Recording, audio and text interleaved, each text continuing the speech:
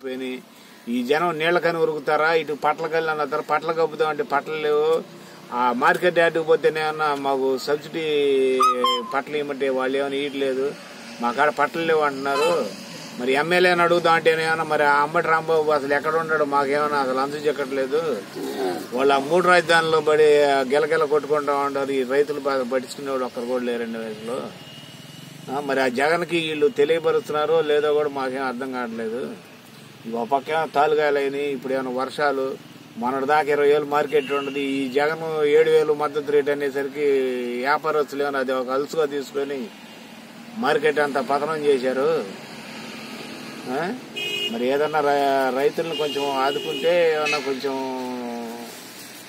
Vote కొట్టారు లేకపోతే ఏమన్నా బాగా ఇబ్బందులు పోవాలి కావాల్సి వచ్చింది.